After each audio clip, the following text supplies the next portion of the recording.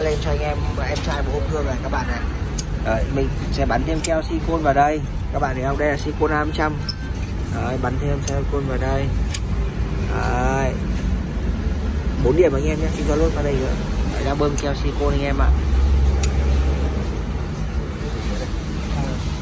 Ở giữa không bắn em ạ chỉ bắn cạnh thôi để mai sau anh em vỡ rồi anh em còn cầm dao dòng giấy em cắt ra anh em còn thay. Đấy.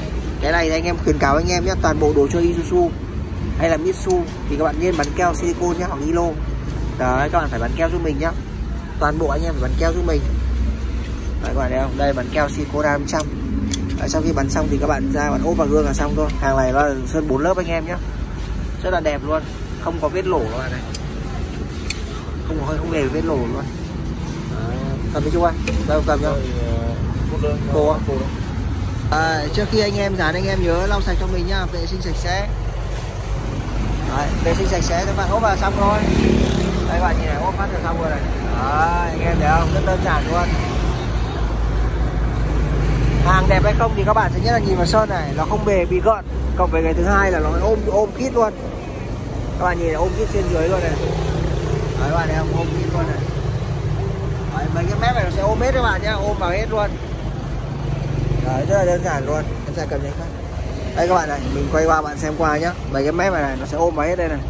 Nó sẽ khít này. Nó không bị há. Tất nhiên nó sẽ có độ há nhưng mà nó không há nhiều và nó ôm khít như này. Đấy, các bạn nhìn thấy không? Đẹp không? Đấy, rất là đẹp luôn. Đấy, nhìn nét luôn anh em ạ.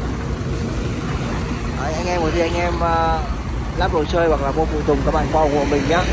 Số nhà 110 anh em ạ. Đường đỗ 10 phường sở Hoàng Mai luôn được nhận thức. Anh em lưu ý giúp mình nhá cái cửa nhỏ nhỏ là mình bỏ rồi. Nhiều anh em vẫn vào gàm cũ cái gàm cũ em mình là bỏ đâu rồi. Mình chuyển sang đây từ tháng 9 2013 rồi và đến bây giờ là tháng ờ, 3 2024 mình sẽ được 5 tháng rồi. Anh em lưu ý giúp mình nhá các bạn nhớ qua số nhà 110 cảm ơn em trai rất là nhiều luôn.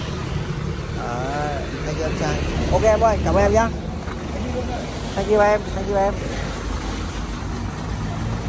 Đẹp luôn anh em ạ.